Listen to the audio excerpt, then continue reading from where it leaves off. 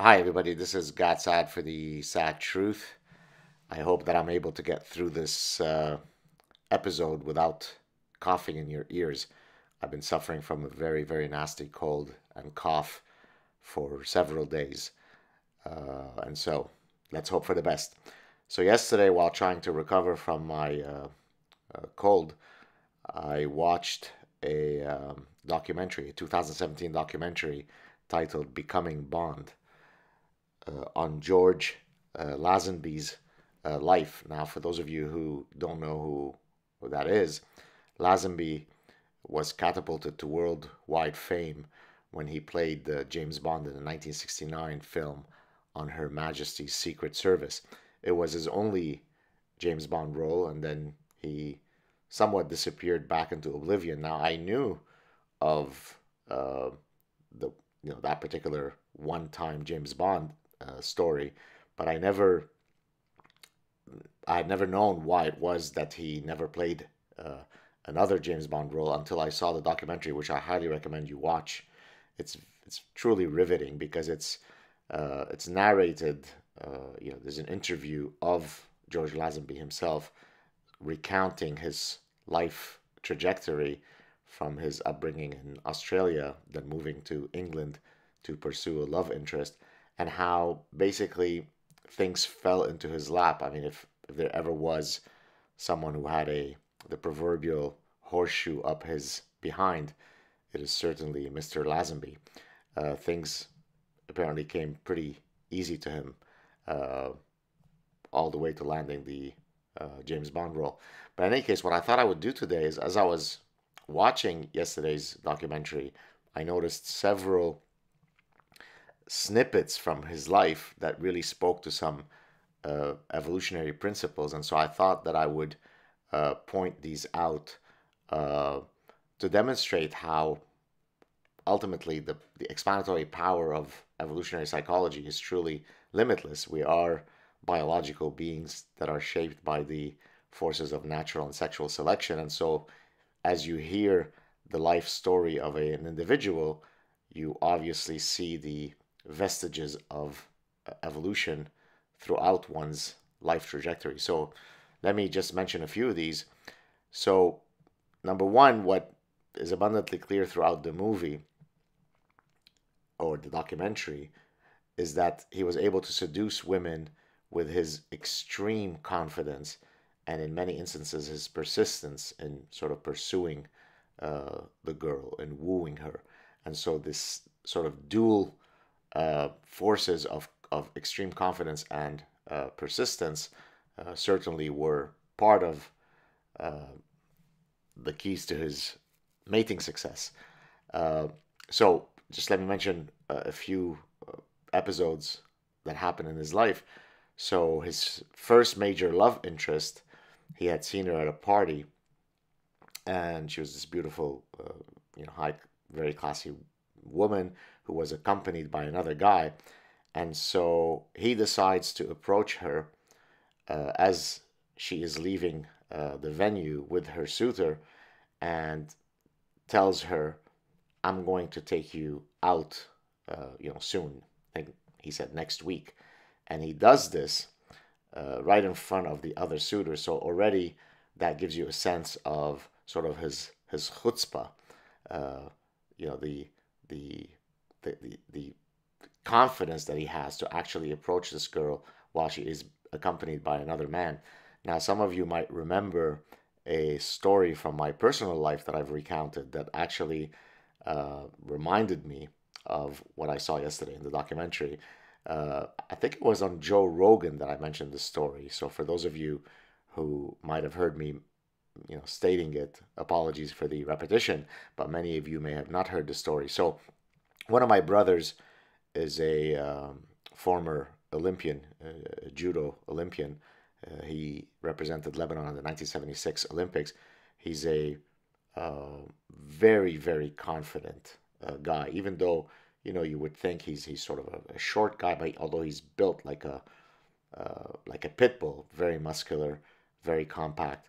But you know, he doesn't exude sort of the tall, dark, and handsome, uh, handsome James Bond archetype.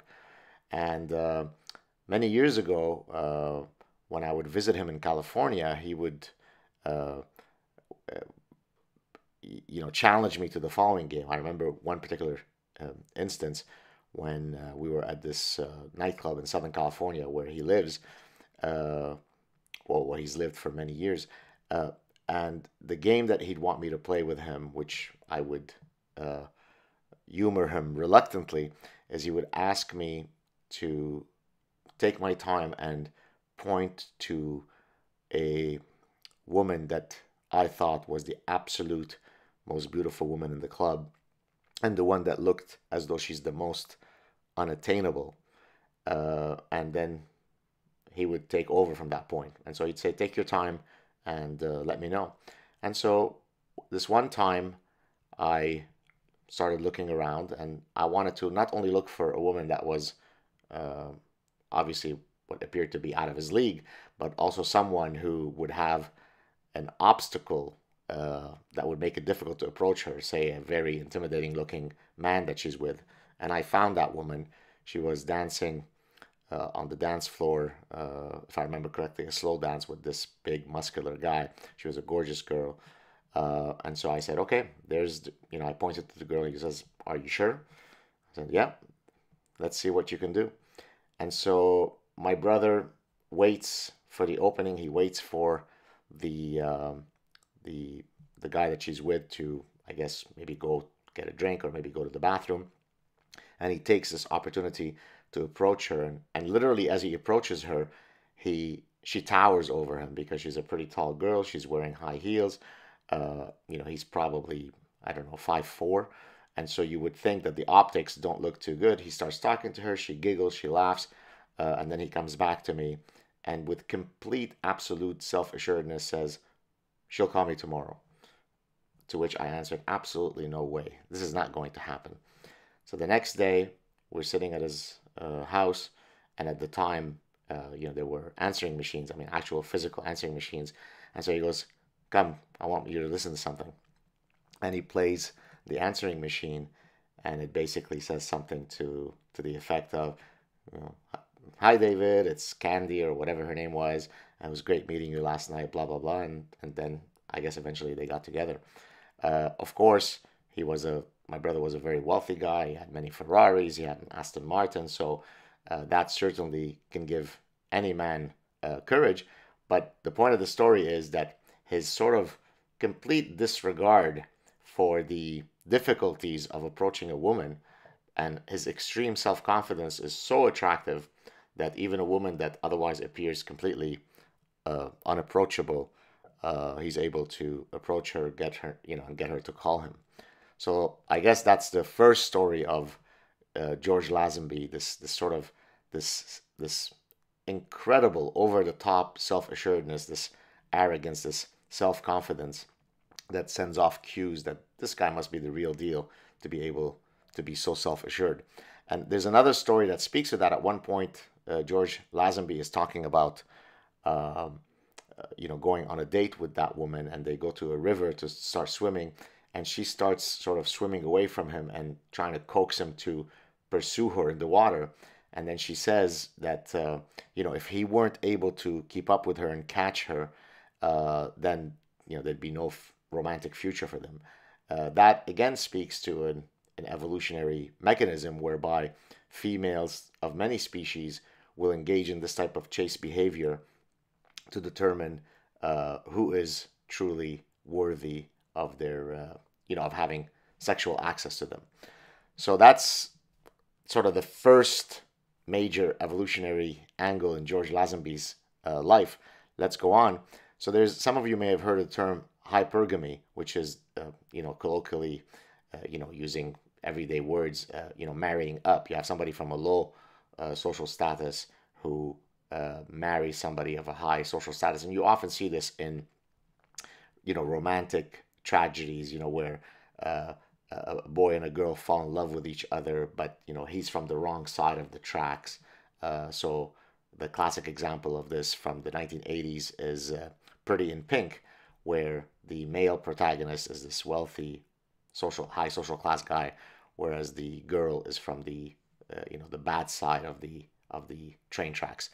So in any case, in in this particular uh, story of in George Lazenby's life, he is you know from a very low class uh, you know, working family, and at this point he is pursuing that girl that we've been talking about, who turns out to be not only high class. When he goes to her house the first time, uh, he recounts an amazing story. He her father is sitting there. He says hi to him, and next to him is this other gentleman.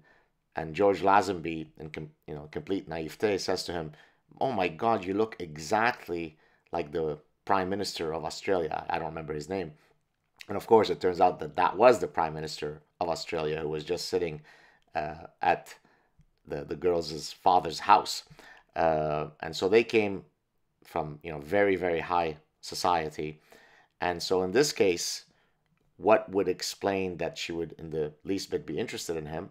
Well, of course, there's a in the mating market. There's often a trade, right?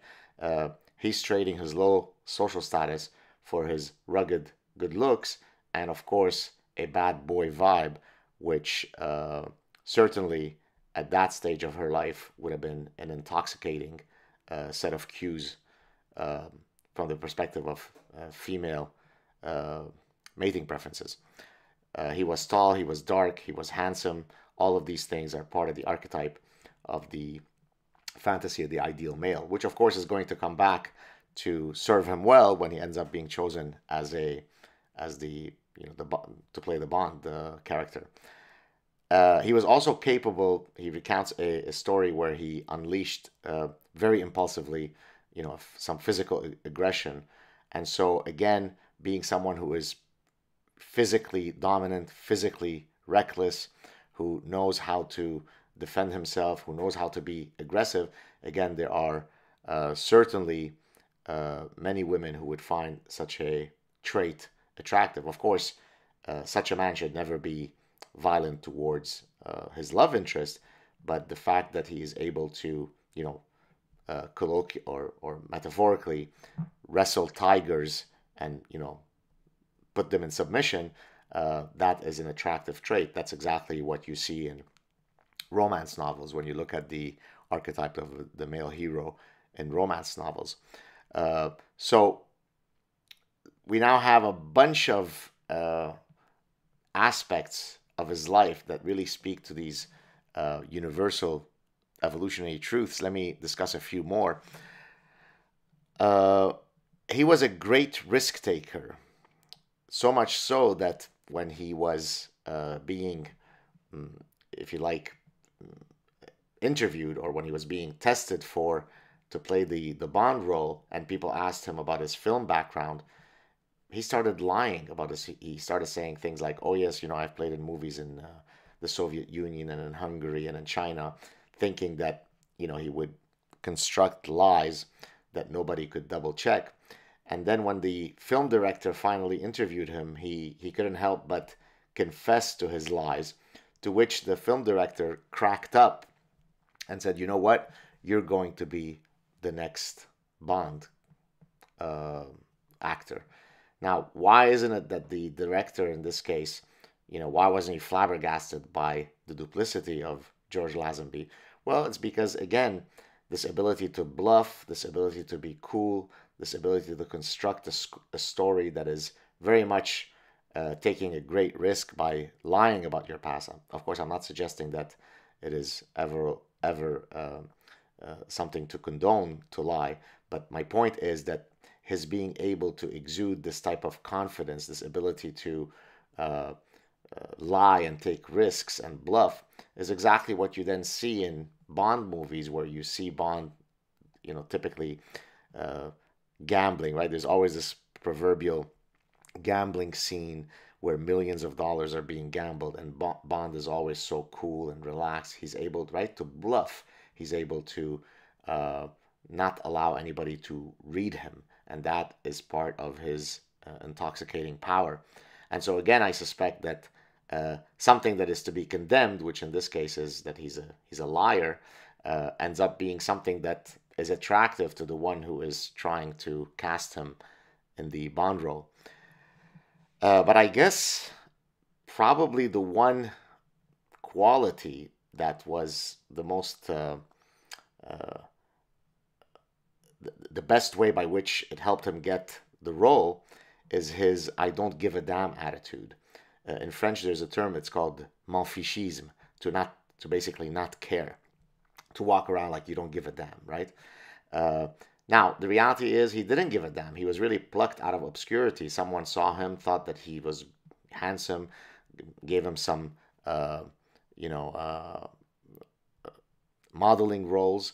That catapulted him to fame, and he started making a lot of money. And that resulted in someone seeing him, saying, "Gee, he's got sort of this debonair look to him. Let's bring him in for." Uh, you know, testing for this uh, James Bond movie. The guy was not an actor. He never had a career in acting. Uh, he wasn't looking to be an actor.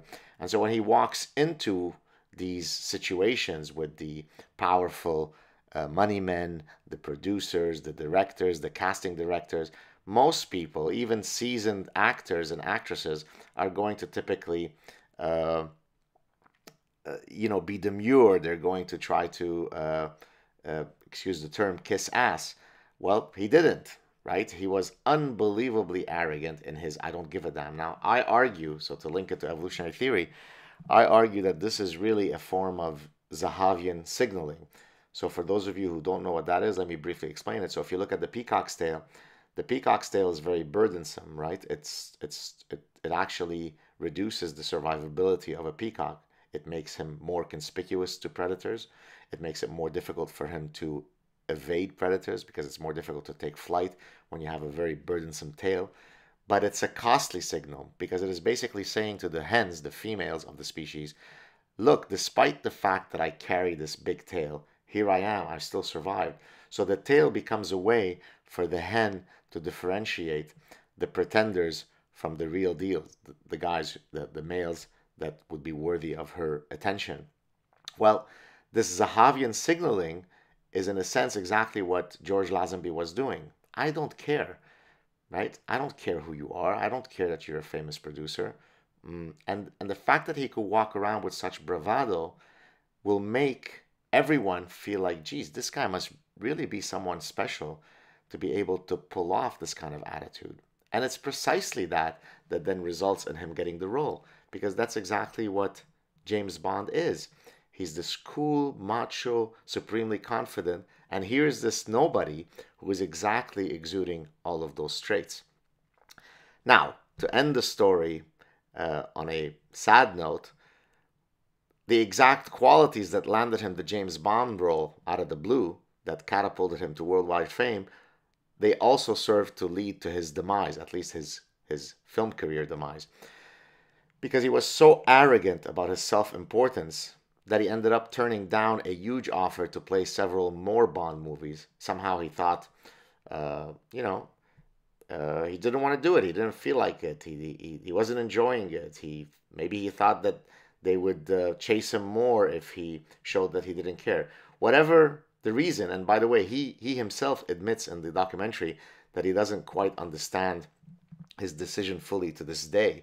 Uh, but the bottom line is that uh, you know it's quite it's somewhat of a, a, tragedy that the exact thing that landed him the job ultimately the same set of traits uh, are the ones that uh, brought him down so i highly recommend that you check out this documentary i uh, hope you enjoyed uh, the, this ability to use evolutionary principles to really shed light on all of our lives why is it that we do X, Y, or Z? Why is it that we feel the emotions that we do, take the life decisions that we do? Not everything is due to evolutionary theory, of course, but many of the driving themes that shape our life trajectory are very much rooted in our evolutionary history. Uh, hope you're having a good week. I hope to get rid of this damn cold soon. Hey, I was able to do this whole thing without coughing once. Uh, thanks for your interest. Talk to you soon. Cheers.